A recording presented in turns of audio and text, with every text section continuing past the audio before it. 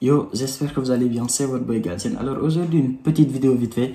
On va parler des quelques aides que vous pouvez bénéficier quand vous allez être en France. Cette vidéo va, concerner principalement les étudiants qui sont déjà en France parce que voilà, vous pouvez déjà demander ces aides-là et je pense que vous les connaissez déjà. Et aussi, ça peut concerner les étudiants qui sont au Sénégal enfin, ou dans d'autres pays du monde qui ne sont pas encore venus et qui sont en train de faire les démarches. Par exemple, quand vous allez calculer euh, combien d'argent il vous faut par mois, etc., vous pouvez déjà enlever ces aides-là dans vos, dans vos calculs parce que voilà, c'est des aides qui sont ouvertes à tout le monde. Vous pouvez tous les demander et généralement, vous allez tous les avoir. Donc voilà, c'est parti.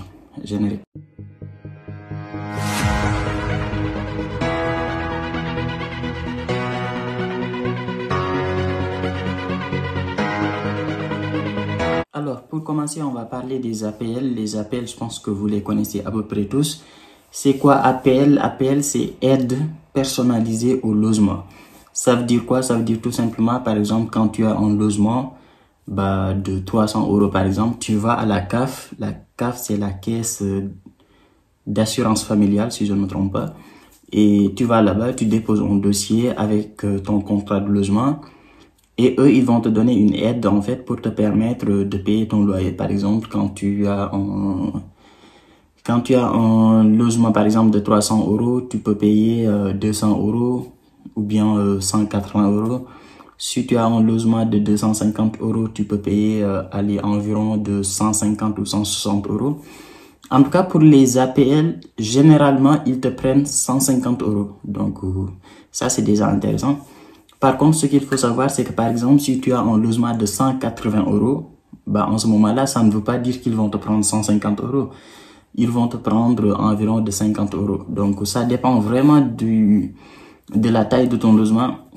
Moi, je me rappelle par exemple, quand j'étais euh, dans mon logement là-bas, bah, il y avait des logements de 280 euros et il y avait des logements de 315 euros. Et la CAF prenait genre plus pour ceux qui sont dans les logements de 315 euros. Et donc, ce qui fait qu'au final, ceux qui sont dans les logements de 315 euros et ceux qui sont dans les logements de 380 euros, au final, on payait la même chose en fait. Une fois que la CAF est déduite en fait, enfin, une fois que les appels sont déduits, on paye à peu près la même chose. Et ceux qui étaient dans les logements de 190 euros, je crois, bah eux, ils avaient seulement une aide de, de 30 euros, je crois, ou 40 euros, un truc comme ça. Ce qui fait qu'eux, ils payaient euh, environ de 150, 160 euros. Donc voilà, euh, ça c'est la première aide, c'est ouvert à tous. Ça dépend bien sûr de vos ressources. Pour euh, les Français, ça dépend des ressources de leurs parents. Mais pour nous, les étudiants étrangers, bah, normalement, ça devrait dépendre des ressources de nos parents. Mais tous les étudiants disent que voilà, on reçoit de l'argent de la part de nos parents. Tu vois, tu connais les bails. Tu dis tout simplement que voilà, tu reçois 400 euros ou 500 euros de la part de tes parents. T'as pas de salaire, t'as rien du tout. Et voilà, ils calculent et très souvent, tous les étudiants étrangers ont les mêmes appels. Donc voilà, c'est ouvert à tous. Donc voilà, ça c'est la première aide. Je pense que vous le connaissez. Si vous êtes déjà en France, il suffit juste d'aller voir euh, les, la CAF et de déposer votre dossier. C'est pourquoi il est important quand vous allez chercher votre logement de chercher des logements conventionnés, des logements qui sont ouverts aux appels. Parce qu'il y a des logements qui ne sont pas ouverts aux appels, ce qui fait que ces logements-là, si tu les as, tu ne peux pas demander d'appel. Et donc, tu vas payer plus cher. Donc voilà. Deuxième aide. Euh, la deuxième aide que je vais vous parler, c'est euh, l'aide au transport. Beaucoup de gens ne le savent pas. Moi, je me rappelle euh, quand j'étais arrivé, ma première année, je ne savais pas que c'était existé. Et jusqu'à ma troisième année, il y avait des étudiants qui étaient, qui étaient venus en même temps que moi, qui ne connaissaient pas ces aides-là. C'est ce qu'on appelle euh, les aides solidaires. C'est euh, la tarification solidaire. C'est comme ça que ça s'appelle, la tarification solidaire. Donc, c'est jusqu'à 25 ans. Si vous avez plus de 25 ans, ça va être compliqué mais c'est jusqu'à 25 ans et peut-être même jusqu'à plus de 25 ans, mais sincèrement, c'est très souvent jusqu'à 25 ans. Et donc, euh, il suffit juste d'aller voir la société de transport de votre ville. À Clermont-Ferrand, par exemple, c'est la T2C.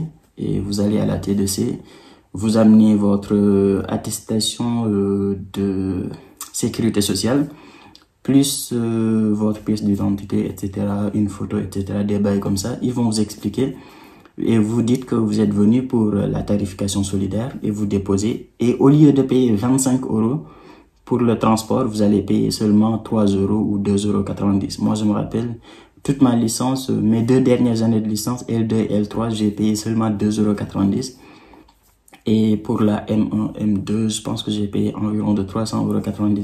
Ça dépend de ce que la CAF, ce que j'ai parlé tout à l'heure, les appels, ça dépend de ce que les appels te versent et ça dépend de ta, de ton, de ton quotient familial. Quotient familial, vous allez savoir ce que c'est. C'est, c'est seulement, euh, c'est un, un, chiffre en fait qui est marqué dans votre, dans votre site. Euh, dans votre compte, euh, comment ça s'appelle? Sécurité sociale. Donc, vous allez savoir ce que c'est, c'est marqué. Et il vous demande cette attestation-là, plus des photos d'identité, etc. Et au lieu de payer 25 euros, vous payez 300 euros. 3 euros, pardon. Donc voilà, ça c'est la deuxième aide et ça existe dans toutes les villes. Si vous êtes à Limoges, si vous êtes à Grenoble, etc. Vous allez voir la société de transport et vous les expliquer que vous êtes venu pour la tarification solidaire. Ça, c'est la deuxième aide. La troisième aide, je vais parler des assistantes sociales.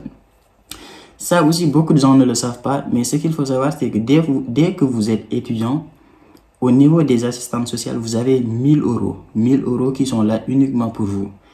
Vous n'allez pas les toucher, les 1000 euros. On va être d'accord tout de suite.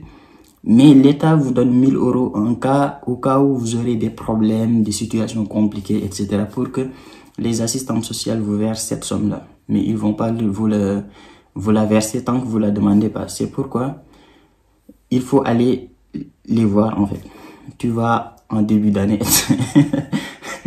je sais pas pourquoi je vous raconte ça en. Vous allez en début d'année, vous venez, vous leur dites voilà, moi je viens d'arriver, je me suis inscrit, j'ai plus beaucoup d'argent, j'ai pas encore reçu mon argent, etc. Ou bien j'ai besoin d'acheter des trucs, etc. Et, et, il, et il vous donne 250 euros. Dès la première demande, il vous donne 250 euros. Et ça, vous pouvez le faire deux fois dans l'année. Vous ne pouvez pas le faire trois fois, quatre fois, c'est seulement deux fois. Et sincèrement, à Clermont-Ferrand et à Limoges en tout cas, à Clermont, je connais des gens qui l'ont fait plusieurs fois. Moi aussi, je l'ai fait. Et à Limoges aussi, j'ai vu des gens qui l'ont fait plusieurs fois. Donc, vous arrivez, vous demandez une assistante sociale, vous allez la voir, vous leur dites que voilà, je suis dans une situation compliquée. En ce moment-là, j'ai payé mon loyer, je me suis inscrit, j'ai acheté des trucs, j'ai pris beaucoup d'argent et j'ai besoin d'aide. Ils vous donnent 250 euros. Vous,